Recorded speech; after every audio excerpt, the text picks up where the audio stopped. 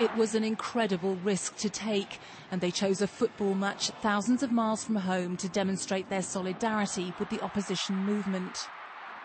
The national team grabbed world attention by parading green wristbands, the colour of the protest movement. And remember, after all this, they'll have to go back to Tehran and face the music.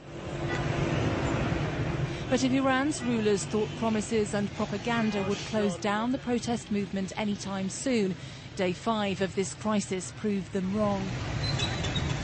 In the city the footballers left behind, the demonstrations have continued in support of Mir Hossein Mousavi, the man who claims power has been stolen from his grasp.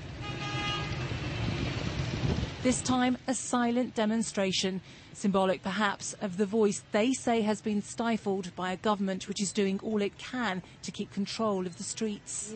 But this after Mr Mousavi launched a blistering attack on the credibility of the government and therefore the authority of Iran's supreme leader, the Ayatollah Ali Khamenei, by alleging the violence was caused by government supporters to smear his followers.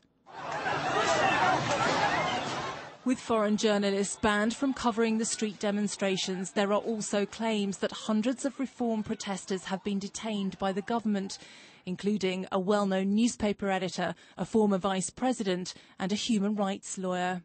What, what the regime is trying to do is, is trying to uh, squash this movement both, both from above uh, and from below to keep uh, coverage of it from uh, going to the outside world and at the same time to uh, cut off the roots of it on the ground.